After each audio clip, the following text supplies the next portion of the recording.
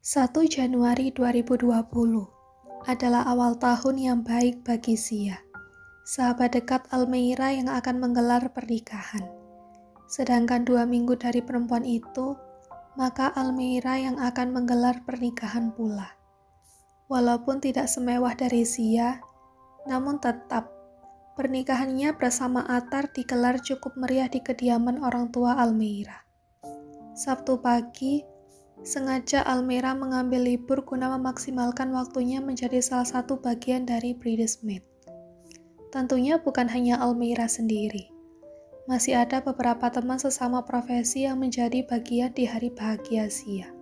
Sebenarnya Almeira sudah mengajak Atar untuk ikut hadir. Namun sayang saja, sang tunangan sedang ada perjalanan bisnis keluar kota untuk beberapa hari. Duh, masih pagi banget. Bu dokternya cantik begini, mau ke mana Al? Ujar Ina di ambang pintu. Tatapannya terarah pada Almira yang sedang asik membenarkan polesan natural di wajah. Kan hari ini wedding sih ya? Mbak Ina juga diundang kok, masa lupa sih?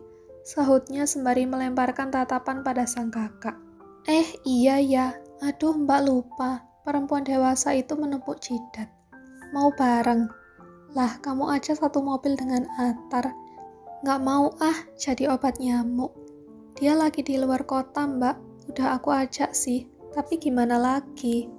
Gak apa-apa deh Al, mbak bareng masmu aja. Tolak Ina lagi. Eh seriusan Atar keluar kota. Mau nikah loh. Tawa pelan Almera mengisi gendang telinga Ina.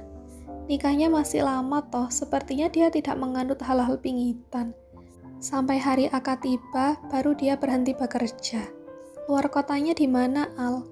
Palembang. Ih, seriusan deh. Sebenarnya kalau mau menikah harus jaga banget sih, Al. Kata Ina serius. Jaga apanya? Lah orang dia sehat kok, mbak. Bukan hanya kesehatan Almeira, Ina menekan kalimat terakhir. Bahaya kalau mau menikah dia justru keliling kota.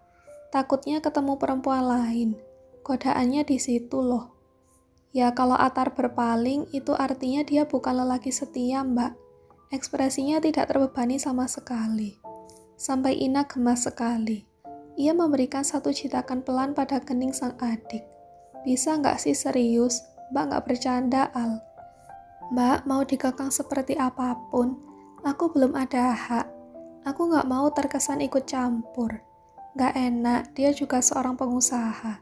Kedudukannya tinggi dia punya tanggung jawab besar ke karyawannya yang gak sedikit. Dan harusnya lo lebih berharga dari para karyawannya dong. Mana bisa gitu, aku masih calon istri. Udahlah mbak, gak usah pusingin kepergian Mas Atar ke Palembang. Ia melambai-lambaikan tangan, meraih tas yang tergeletak di atas meja. Ih, kamu gak boleh enteng aja dengan sikap Atar yang gak bisa memenuhi apa yang kamu mau. Tahan Ina serius. Perempuan itu justru mentertawakan ucapan sang kakak. Iya mbak, iya. Aku nggak ambil enteng. Aku hanya belum punya hak untuk ikut campur. Nanti kalau Umi tanya aku, sampaikan ya mbak. Aku ke acara pernikahan Sia. Iya, nanti mbak susul. Titip salam dulu ke Sia. Semoga akad nikahnya pagi berjalan lancar. Doa Ina. Amin insya Allah. Almeira langsung masuk ke dalam mobil memanaskan kendaraan roda empatnya sebelum benar-benar meninggalkan garasi rumah. Walaupun tadi ia menganggap enteng perkara Atar yang sedang berada di luar kota, tapi setelah ia mendudukkan diri di mobil, ucapan sang kakak kembali mengisi kepala. Terus aku kudu gimana toh? Ia tertawa kecil. Lah Mas Atar yang gak bisa kok, bukan aku. Walaupun saat di perjalanan tadi, Almera sempat terjebak kemacetan panjang, namun ia tidak terlambat di akad pernikahan Sia pagi ini. Anehnya di tanggal 3 Januari 2020, jadi tanggal yang banyak dihabiskan oleh pasangan untuk mengabadikan pernikahan mereka. Tiga hotel Almera temui pernikahan dengan karangan bunga yang penuh. Dari hotel bintang 3 hingga bintang 5. Almeira sampai geleng-geleng kepala. Apakah tanggal 1 Januari merupakan tanggal yang spesial? Sesampainya Almeira, ia langsung mencari gedung milik Sia. namun calon pengantin masih berada di dalam kamar. Belum keluar dari menuju tempat akad nikah. Ia pun langsung menyapa ramah kepada teman sesama profesi yang menjadi bridesmaid seperti Almeira. Ada lima orang sudah termasuk Almeira. Eh, dokter cantiknya udah ada di sini. Apa kabar Mbak Al? Sosok perempuan mungil membuka pembicaraan. Sehat walafiat. Meisa sendiri juga sehat kan? Alhamdulillah sehat, Mbak. Kabarnya Mbak Al bakal nyusul dokter Sia nih. Kapan, Mbak? Almeira menguntai tawa kecil, memandang ke arah sang lawan bicara. Wah, sudah dengar kabar itu saja ya. Doanya ya Mei semoga dipermudah sampai hari pernikahan tiba. Wah, pastilah, Mbak. Kan Mbak Al dokter hits. Cantik, soliha, cerdas pula. Calon suami Mbak Al pasti sangat beruntung pujinya kepada Almeira. Aduh, Mei nggak gitu juga. Kebanyakan orang selalu menilai standar dari lelaki yang sama aku harus sempurna. Kamu juga cantik kok, cerdas dan pintar akan seni. Dokter pula nggak ada bedanya. Tapi aspek dari ketiga yang Mbak Al punya nggak menandingi. Sahutnya Meisa dibarengi kegagahan. Ada-ada saja kamu ini. Terus Meisa sendiri rencananya kapan naik ke pelaminan. Aku lihat kamu udah lamaran. Aku ada lihat post kamu di feeds Instagram. Setelah doi pulang berlayar lah mbak, rencananya sih tahun depan. Semoga dilancarkan ya Mei. Amin mbak. Dan mbak Al calonnya mana sih? Gak ada pos lamaran. Taunya akan menikah dalam waktu dekat. Aku juga baru dengar dari Sia di kamar pengantin. Hehehe, masih rahasia Mei. Nanti kalau sudah waktunya aku bakal sebar undangan kok. Tapi pernikahan sederhana saja, Mei. Tidak semewah pernikahan Sia hari ini. Masa sih sederhana, Mbak? Saud Meisa tidak percaya. Tadi dokter Sia beri clue kalau calonnya Mbak Al pengusaha ternama di Indonesia. Kita tahu latar belakangnya aja namanya enggak. Hehehe, sabar-sabar. Nanti tahu juga kok, Mei sampai mata Meisha berubah ke arah lelaki yang baru saja masuk ke dalam gedung. Otomatis tatapan Almeira pun mengikuti arah di mana sang lawan bicara tertuju pada objek utama. Wah, Mbak Al itu sepupu Sia. Aduh, ganteng banget sih hari ini dengan beskap begitu. Huhuhu, namanya Mas Hafif, Mbak. Aku pernah naksir berat ke dia, tapi susah banget untuk didekati. Ya terpaksa aku harus mundur dan terima cowok lain. Hah, seriusan udah dideketin Mei? Serius mbak, dia itu tipe lelaki idaman banget. Minusnya ya itu, cuek banget sama lawan jenis. Masa sih? Almera masih tetap tidak percaya. Sepertinya berubah setelah ditinggal menikah, mbak. Eh, ditinggal menikah? Meisa mengangguk. Iya, mbak. Kakak aku kan satu angkatan di kampus dengan Mas Hafif. Sekarang dia lagi ambil S2 kan? Nah, ceritanya Mas Hafif ini pernah dekat dengan seorang perempuan yang secara backgroundnya itu benar-benar tipe Mas Hafif. Hampir persis seperti Mbak Almeira gini lah. Cantik dan soliha. Sama-sama jurusan hukum. Mungkin kedekatan mereka sejak masih jadi mahasiswa baru. Lanjut lagi ya mbak, akhirnya ini perempuan wisuda lebih cepat ketimbang Mas Hafif. Jadi langsung pulang kampung. Anak-anak kelas tahu banget gimana Mas Hafif menjaga ini perempuan. Sampai awalnya KKN itu dia mau bareng Mas Hafif karena takut di desa orang. Tapi Mas Hafif nggak bisa. Dan perempuan ini sampai nangis setiap malam. Akhirnya Mas Hafif bolak-balik jenguk itu perempuan. Teman-teman kelas gak nyangka Mas Hafif bakal ditinggal nikah. Kok sampai ditinggal nikah dengan perempuan itu, Mei? Gimana ceritanya? Yang aku tahu dari cerita kakak aku sih mbak, karena doi Mas Hafif ada di kampung, dan Mas Hafif ada pelatihan ke luar negeri. Ternyata ada banyak lamaran masuk untuk ini perempuan. Tentulah bingung ya kan mbak, sedangkan Mas Hafif sendiri belum selesai skripsi dan ditunda untuk beberapa bulan karena ada di luar negeri. Walhasil karena sudah terdesak, dia minta dilamar. Tapi Umi Mas Hafif minta selesaikan kuliahnya dan ambil S2. Ceritanya panjang sih mbak, yakin masih mau dengar. Hehehe, yakin aja Mei. Oke mbak, karena perempuan ini didesak kakaknya untuk segera menikah. Makin kalut lah. Di lamaran pertama masih bisa menolak. Dan Mas Hafif minta dia untuk menunggu dalam waktu dekat. Setelah selesai skripsi dan wisuda, dia langsung ambil S2.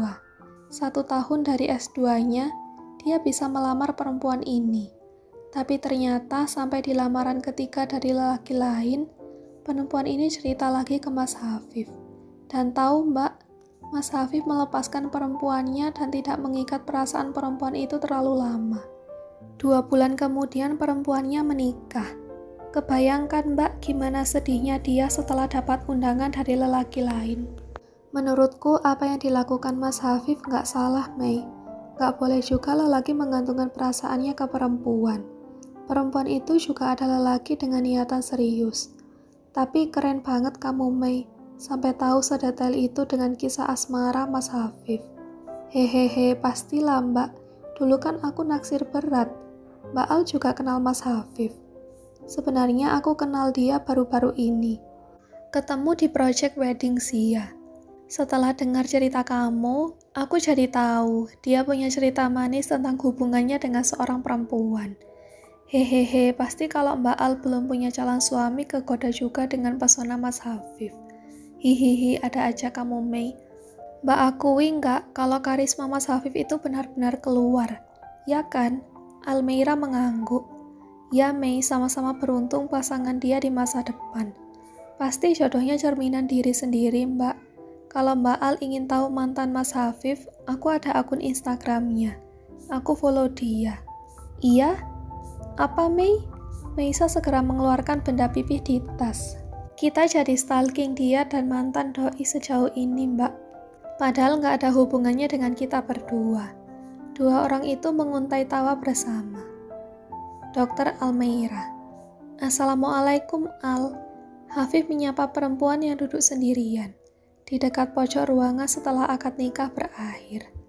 Waalaikumsalam, eh Mas Hafif, sahut Almeira ramah. Ketika mendapati wajah lelaki yang berada di sebelah. Sendirian aja. Iya mas, dan mas juga sendirian. Enggak, saya bersama keluarga besar. Sudah pakai seragam keluarga seperti ini masa sendirian, Al? Tentulah enggak.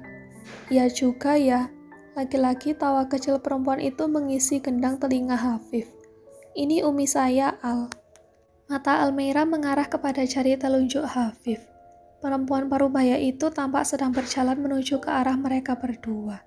Wah, awet muda ya mas, puji Almeira tanpa sadar. Ah, enggak lah Al, anaknya udah dewasa seperti ini. Mana mungkin Umi masih awet muda. Ya memang sudah nggak muda mas, itu pasti, tapi raut wajahnya masih berseri-seri. Pertanda ibadahnya bagus, jadi auranya terus kelihatan. Alhamdulillah Al. Sampai perempuan itu benar-benar bersama Almeira dan juga Hafif. Segera Almeira bangun dari tempat duduk. Siapa ini mas? Calon istri. Ini Almeira Mi. Mas pernah cerita tentang teman dekat Sia. Ini orangnya. Ya Allah, maaf nak, maaf. Ucapnya pada Almeira di sebelah Hafif. Gak apa-apa tante, gak perlu minta maaf kok. Ia langsung menyalami Umi Hafif dengan sopan. Umi harus minta maaf dong karena kata Hafif kamu tunangan sahabatnya. Matanya mengarah kepada Hafif di sebelah dengan senyuman lebar. Masya Allah ya tante, saya Almeira, teman dekatnya Sia dan belum lama ini kenal dengan Mas Hafif tante. Atar mana? Kok nggak ikut? Sedang di Palembang, Tante, ada proyek keluar kota. Waduh, Mbak Dokter mau menikah kok masih ada proyek keluar. Hati-hati loh. Perempuan parubaya itu mengingatkan. Bukan apa-apa, namanya juga mau menikah. Hafif langsung memberi kode kepada uminya untuk tidak membicarakan perihal hubungan Almira dengan Atar. Ya sudah, Umi pamit deh ya. Mau ketemu keluarga besar. Pamitnya pada Hafif dan juga Almeira. Setelah langkah uminya menjauh, lelaki itu pun buka suara kembali. Maaf Al, kalau kesannya umi saya jadi ikut campur, jadi sungkan. Santai aja mas, aku juga nggak keberatan sama sekali. Justru senang mendapat perhatian dari umi. Walaupun nggak keberatan, tapi kan saya yang merasa gimana-gimana. Wah, mewah banget resepsi pernikahan Sia ya mas. Suaminya benar-benar sukses.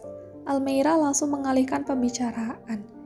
Ya begitulah, hanya saja kalau saya pribadi lebih menyukai pernikahan sederhana. Sebagai pengusaha di bidang ini, saya memang diuntungkan. Hanya saja kalau saya yang menjadi pengantinnya, saya berpikir panjang untuk menghabiskan uang ratusan juta demi pernikahan yang satu hari saja bisa selesai. Semisalnya ada rezeki lebih, bukan masalah sih. Semoga berkesan bagi Sia, menjadi pernikahan yang pertama dan terakhir, sampai benar-benar menua dan bisa membawa pernikahan ke surga. Amin, Mas. Nah, Mas juga semoga disegerakan ya. Siapa sih yang tidak menginginkan untuk segera menikah? Cuma saya nggak diburu-burui, tidak dikejar oleh status juga. Bantu doanya Al, semoga saya segera menemukan jodoh terbaik. Mas Hafif juga jangan terlalu menutup diri. Kalau cuek ke lawan jenis, ya orang sungkan mau dekati Mas. Hehehe, saya maunya saya yang dekati perempuannya Al biar kesannya saya yang berjuang lebih dulu. Tapi lebih baik kalau dua-duanya satu tujuan. Jadi nggak ada istilah bertepuk sebelah tangan. Hahaha, mas kok bisa seperti sedang menyindir aku ya? Loh, sindirannya yang mana, Al? Enggak, enggak, ini benar-benar ditujukan pada diri saya sendiri. Lagi pula kamu tidak bertepuk sebelah tangan kok. Atar serius denganmu. Hafif memberikan jawaban lebih rinci sedangkan Almira mematung di tempat. Apakah betul cintanya tak bertepuk sebelah tangan? Kenapa pesannya untuk Atar hanya dibaca saja? Apa lelaki itu tidak punya kesempatan untuk membalas pesannya? Sebab terlalu sibuk.